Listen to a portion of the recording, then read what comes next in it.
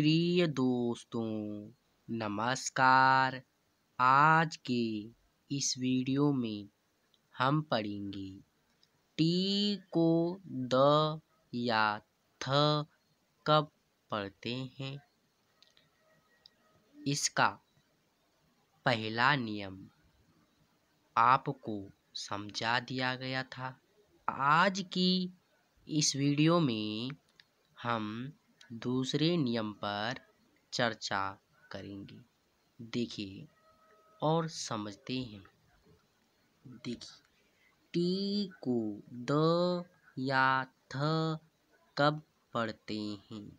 यदि किसी शब्द में टी के बाद एच हो, यदि किसी शब्द में टी के बाद एच हो तो वहाँ पर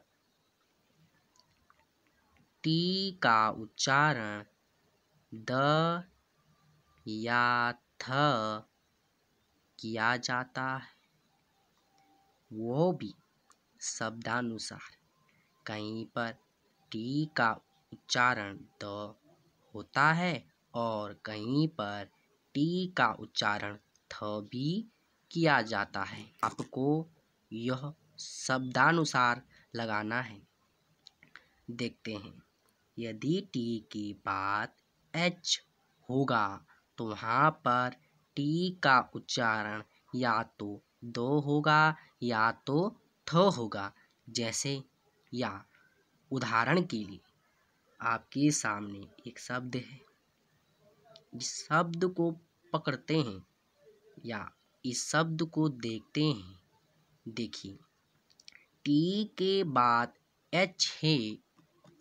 तब यहाँ पर टी का उच्चारण हम थ करेंगे। तब इस शब्द का संपूर्ण उच्चारण होगा। देखिए, तब इस शब्द का संपूर्ण उच्चारण होगा। थ्री।